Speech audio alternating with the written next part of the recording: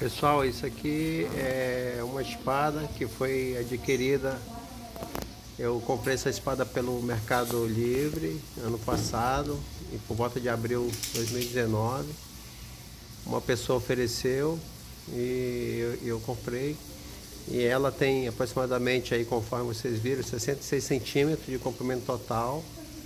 É, o material estava bem, bem enferrujado e muito apagado. E eu enviei essa espada depois para a Ibéria Espadas, lá em São Paulo, em São Vicente, para ele fazer uma restauração.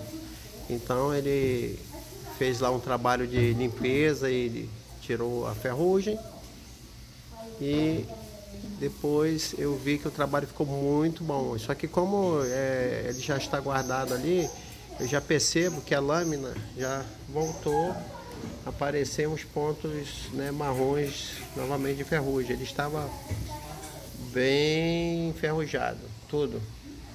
Então, esses aqui são os detalhes né, do punho.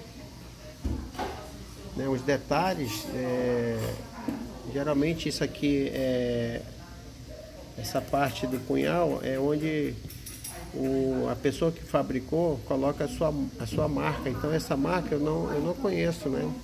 Inclusive coloco aí à disposição de quem puder ajudar, né? Conseguir identificar mais ou menos a época, né? Então, estou rolando aqui o punhal, vocês verem os detalhes do punho com essas fitas douradas, esses metais dourados, né? Incrustado, é, aparentemente ser madeira, né? Então aqui, ó, a parte superior, né?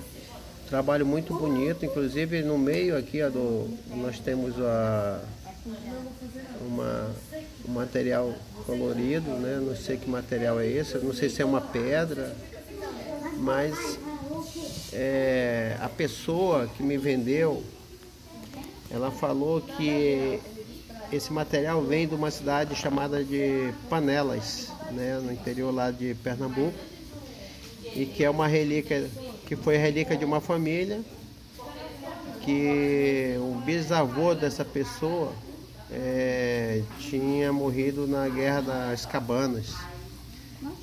E por volta de 1800, alguma coisa. Então, o punhal, eu acho que isso aqui é uma peça muito bonita e rara. É, pois, é, olhando os punhais da era de Lampião, que começou por volta de 1920, né? Os punhais são um pouco diferenciados, eles não possuem esse trabalho aqui é, detalhado, né? Como está aqui nesta peça. Então, é, é uma famosa peça chamada lambedeira, né? É o faca de arrasto.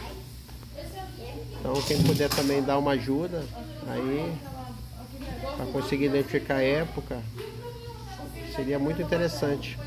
E eu estou fazendo aqui esse vídeo também para, pois na época que eu, eu fiquei interessado nas histórias do cangaço, eu procurei algumas filmagens de alguns detalhes né, de punhais, como é que era, e, e eu não consegui achar muita coisa, é, assim, com, vi, com visuais, né, com filmagens, com detalhando uh, os punhais. Isso aqui eu posso pegar, né, você ver. Então, tamanho que é o punhal desse, né? Geralmente ele era, dizem, né?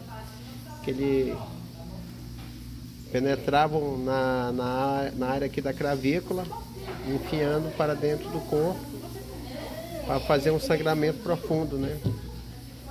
Então é isso aí, pessoal. Valeu aí, espero ajudar aí algumas pessoas que gostam aí desse assunto e também que possa ajudar aí na identificação correta desse punhal. Valeu? Obrigadão. Tchau, tchau.